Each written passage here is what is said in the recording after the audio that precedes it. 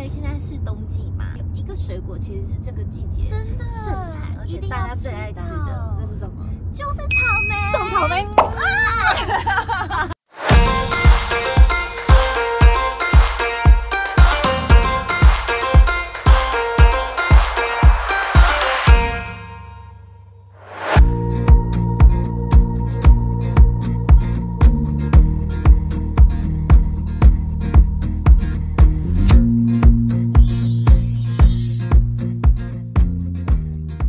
韦恩老板，嘿，是，哎，哇，这里好多都是草莓吗？好大哦！呃，我们这边有机草莓大概做了十三年，那它跟传统最大最大的差别是，第一个不用药，这不用讲了。嗯那第二个是说，它一定要等熟了以后，它的风味会很原始，所以它吃到的口感是比较扎实的。那原味的意思就是说，可能它甜甜里面会带酸，这是草莓的有机草莓一个特性。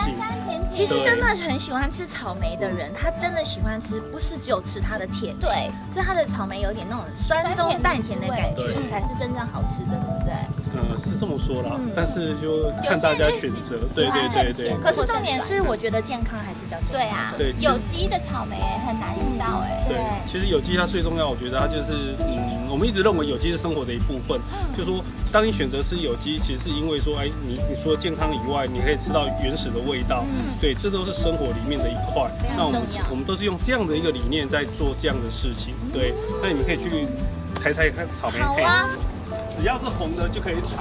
就这个也是可以采的哦。这可以采，它只要是红只要有的，红色就可以采，越红它越甜，越红越这个就是甜还不够红，这还不够红。对。这样还可以再放一下那个就是可以了吧这个就是可以这个就可以了对。对，这个是算可以了，但是如果说再更红，它会更甜。采的时候我们要剪到哪里比较好？OK，我们在剪的时候哈，其实剪到的地方大概是是这个地方，对，你有不要？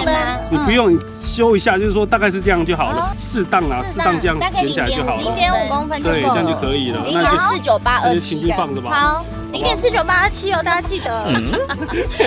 那我们这边大概有七千颗吧，这一区啊，这一区有七千颗，七千颗，我们还是选择红色的，然后我们不要贪心，心我们要采真的可以吃，然后真的好吃的。然后够吃就好了。好，那我们采，我要采回去给爸爸妈妈吃。我要采回去，嗯我要吃，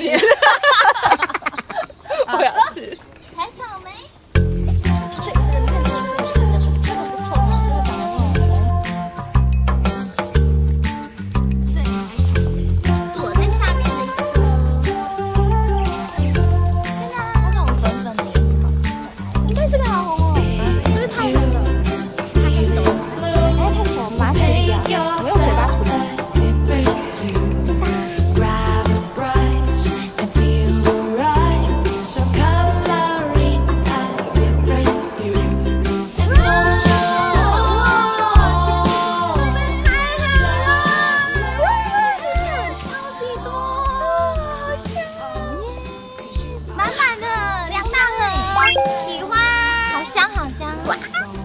好想吃，你现在就想吃了是不是真的？很想吃，可以可以马上直接吃吗？没问题啊，刚刚刚伟恩他已经去准备了，等一下就有草莓冰淇淋松饼哇，草莓冰淇淋松饼在咖啡厅。喜欢啊。走，我们现在立刻，赶快我等不及了那我们要走这里，走走走走。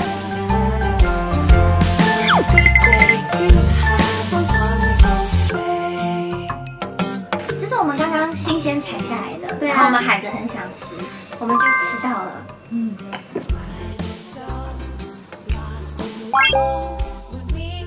带大家来看大溪有这么有机的草莓。嗯，那我们下次会去哪里玩呢？